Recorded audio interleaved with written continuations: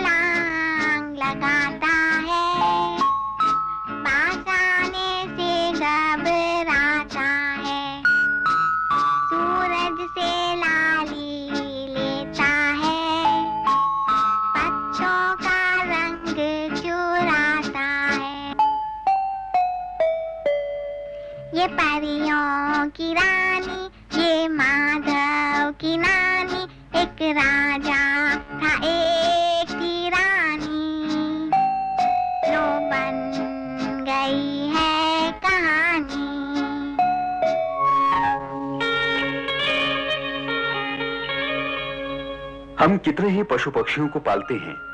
हमारे घरों में तोता, मैना, कुत्ता, बिल्ली, खरगोश और न जाने कितने ही तरह के जानवर होते हैं। जलचर भी हम रोज ही देखते हैं। कभी अजायब घर में तो कभी मछली घर में। इनके हाव भाव देखकर हम खुश होते हैं। पर क्या कभी आपने सोचा है कि इन प्राणियों का मन भी होता है? ये हमारी तरह पढ़े लिखे नहीं होते। ये बोल भी नहीं सकते। हमारी ज़ुबान भी नहीं समझते। पर इनकी भी अपनी भाषा होती है। प्रेम, सुख, दुख, पीड़ा का ये अनुभव करते हैं।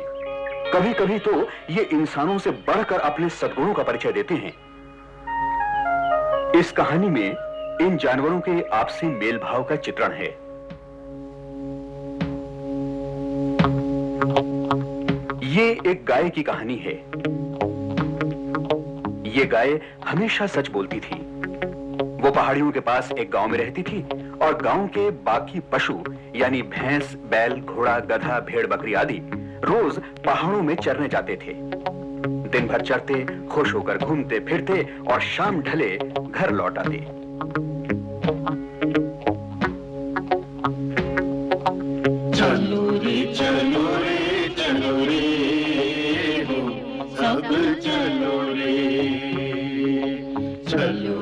चलो रे चलो रे हो सब चलो रे सूरज का गोला आया है पर्वत ने हमें बुलाया है। चलो रे चलो रे चलो रे हो सब चलो रे मिलके चले सब संग लेके जीवन की उमंग। हम आ गए हम आ गए। ये वादिया। कितनी सुंदर। लोग घूमेंगे। हम इधर उधर। ना फ़िक्र ना कोई डर। महकते फूल चहकते पंछी पवन सुनाए प्यार की बंसी। पत्तों की सुनो सरसर झरनों की सुनो झरझर।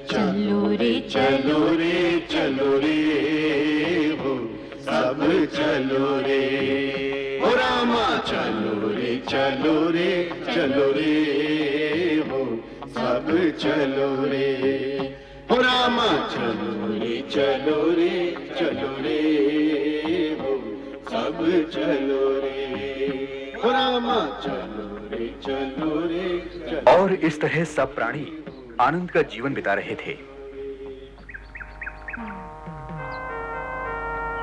शाम होने को आई। ये गाय जो प्रकृति की सुंदरता देखते हुए दूर निकल गई थी, अपने घर का रास्ता भूल गई।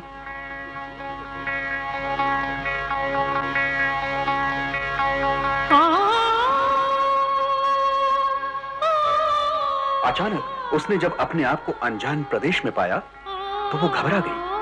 अरे, ये मैं कहाँ आ गई? बाकी सब कहाँ है? घोड़े दादा!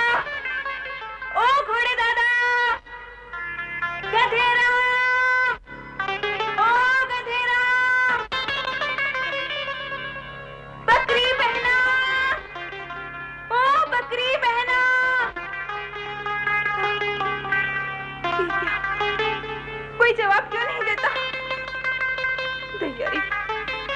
मुझे भी क्या सूझी यहाँ भटकने की? लौटने का रास्ता भी समझ में नहीं आ रहा। हीरा हाय, क्या करूँ?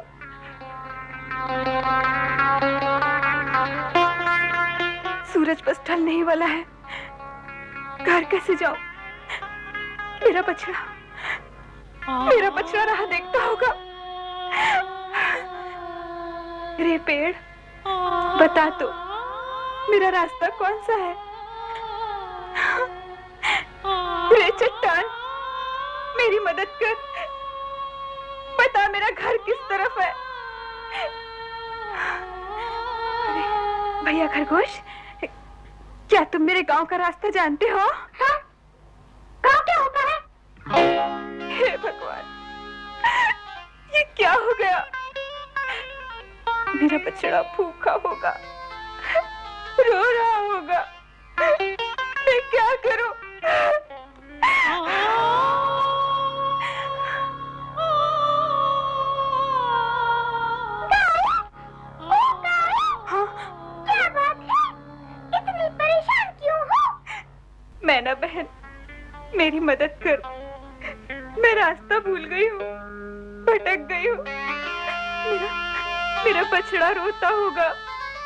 मुझे मेरे गाँव का रास्ता बता दे।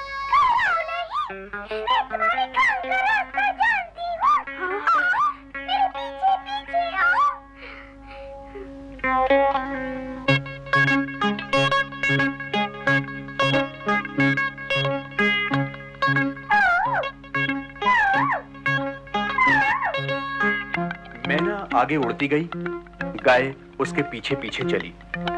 मैना उसे पहाड़ी की दूसरी ओर ले गई। ऊंचाई से दूर गाँव नज़र आ रहा था।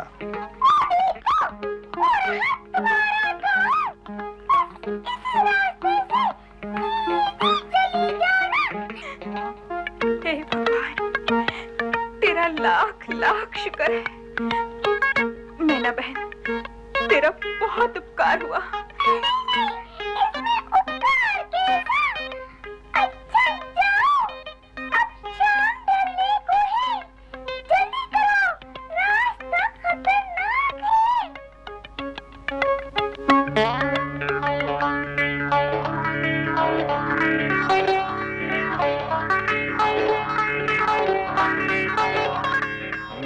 धन्यवाद देकर गाय तुरंत गाँव की ओर चल पड़ी।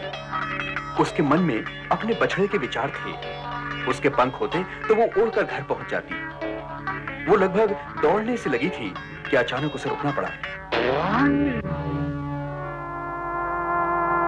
उसका रास्ता रोककर एक भयंकर बाघ खड़ा हुआ था। वाह वाह वाह वाह। आज तो मान से निकलते ही शिकार सामने आ गया। ओ बाघ मुझे जाने दे। मेहरबानी करके मुझे जाने दे। वैसे तो मैंने दोपहर का खाना भरपेट खाया है। और खाने की ऐसी कोई चलती भी नहीं है। मगर जरा इसे डरा धमकाकर मज़ा तो लूँ। चल मरने के लिए तैयार हो जा।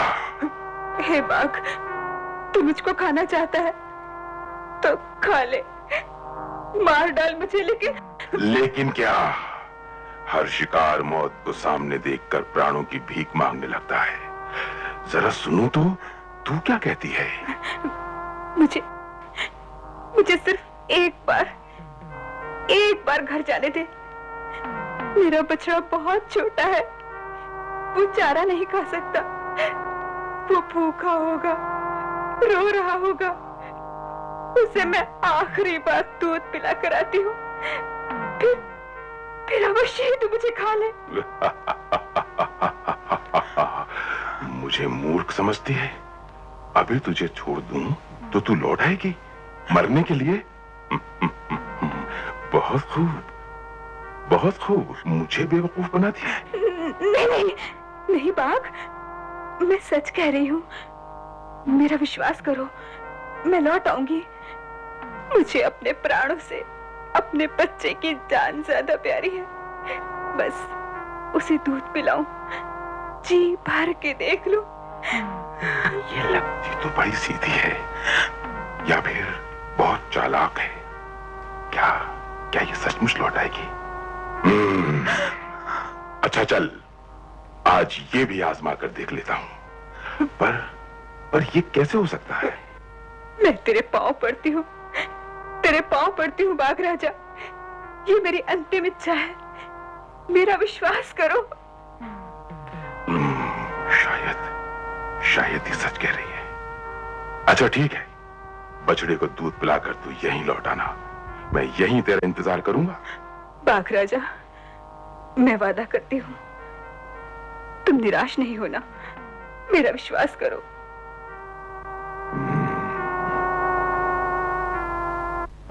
गाय ने बाघ से वादा किया कि वो लौट आएगी और गाँव की तरफ़ दौड़ पड़ी। जल्दी ही वो अपने घर पहुँच गई। उसके बछड़े ने पुकार कर उसका स्वागत किया। गाय ने उसे प्यार से चाट लिया।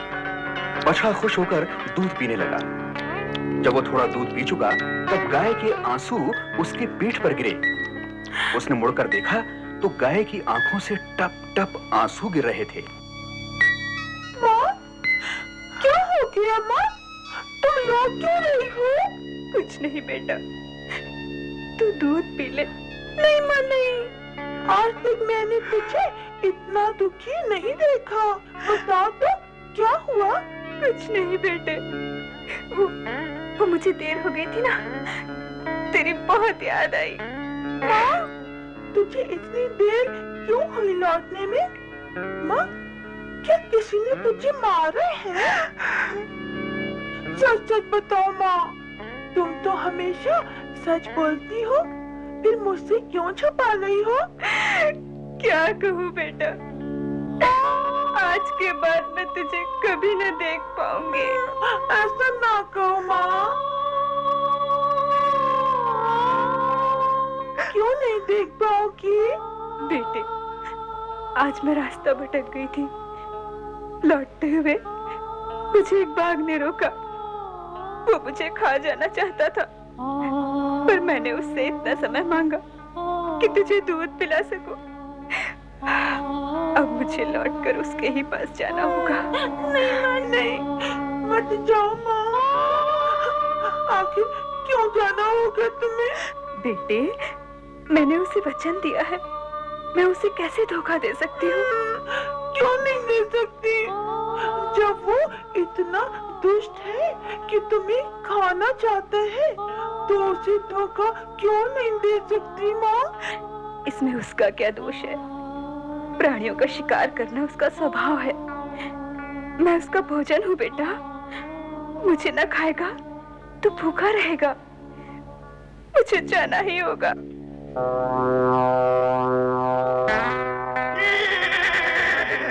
ऐसा तू क्यों कहती है?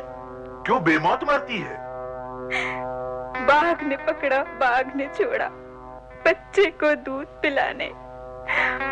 अब मैं लौट के जाती हूँ अपना वचन निभाने। छोड़ वचन को तोड़ दे वादा।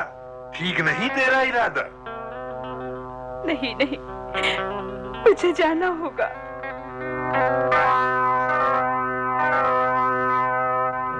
ऐसा तू क्यों करती है? क्यों बेमौत मरती है? बाग की तूने सोची, तेरे बछड़े का क्या होगा? तेरे बछड़े का क्या होगा? अरे ये भी तूने सोचा अरे ये भी तूने सोचा।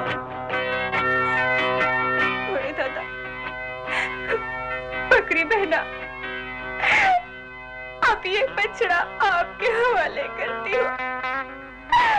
आप सब इसकी देखभाल करना, इसे बहुत प्यार करना, ताकि ये अपनी माँ को भूल जाए। नहीं माँ, नहीं नहीं माँ, मैं तुम्हें नहीं जाने दूँगा। मैं तुम्हारे बिना नहीं रह सकता।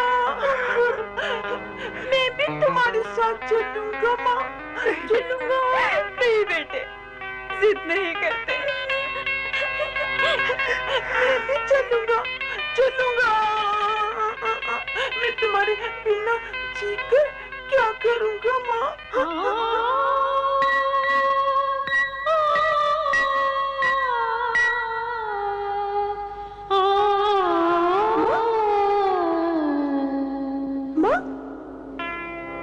गाय आगे चली, बछड़ा पीछे था। सब प्राणी भी पीछे पीछे चले। सभी रो रहे थे। उधर बाघ गाय का इंतज़ार कर रहा था। उसे विश्वास तो नहीं था कि गाय आएगी। फिर भी उसका मन कहता था कि वो आएगी ज़रूर। लगता है अब वो गाय नहीं आती। खैर, ये तो होना ही था। कौन मौत के मुँह में जानबूझकर लौटेगा? चलो कहीं और चलता हूँ। लेकिन अगर वो आ गई तो?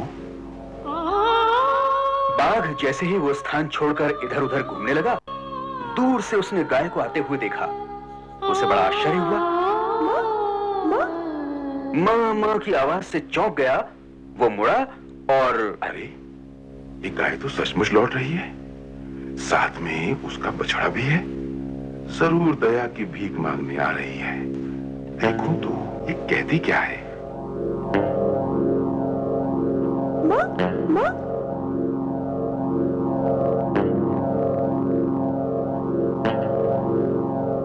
बाघ राजा। मैं आ गई। अपना वचन निभा गई। बड़ी देर कर दी तूने। बहुत भूख लगी है। पर ये तो बता ये बछड़ा क्यों आया है तेरे साथ? बाघ मामा बाघ मामा तू मुझे खा ले मेरी माँ को छोड़ दे बाघ मामा। बेटी ये क्या कह रहे हो? बाघ तेरा शिकार मैं हूँ। तो इसकी बात ना सुन। मुझे खा ले। ना ना ना ना बाघ मामा ना। मैं अपनी माँ के बगैर ज़िंदा नहीं रह सकता। तू मुझे खा ले मामा। हे बाघ ऐसा कभी न करना। मैं अपने चीते जी अपने लाडले की मौत नहीं देख सकती। तू मुझे को खा ले।